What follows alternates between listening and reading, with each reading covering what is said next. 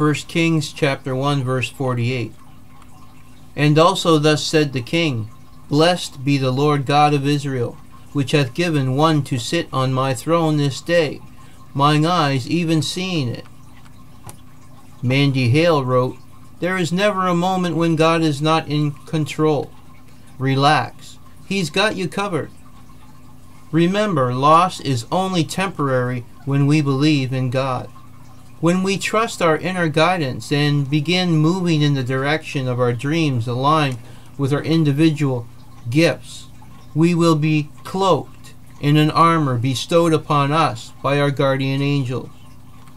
If we believe in God, we must also believe we will see our loved ones again. God is always in control of everything that happens to us. We must keep our eyes on God and His teachings. God's blessings be upon you.